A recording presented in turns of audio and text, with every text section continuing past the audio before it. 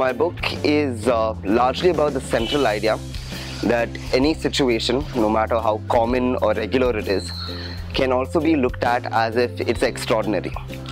So the context or the situation is basically my own college life or the life of those which is similar to mine. And it's set largely in a college like IIT Madras. And it tries to present a few very relatable, very college kind of stories, but through the lens of someone who believes that the universe has extraordinary things planned out for him. It's a series of short stories which are kind of intertwined. So I kind of looked back at my own college life for the last four years and I figured I had been exposed to a very unique set of experiences.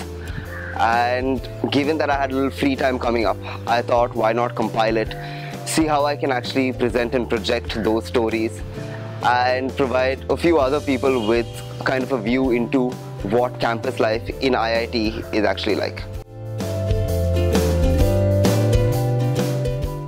Uh, so the book is largely targeted at a college audience or an audience which has just graduated from college or is just entering college.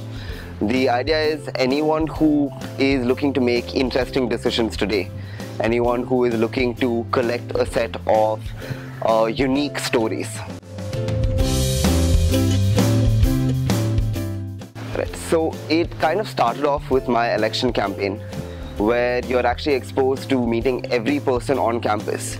You get a much stronger sense of the pulse of an institute as large as IIT.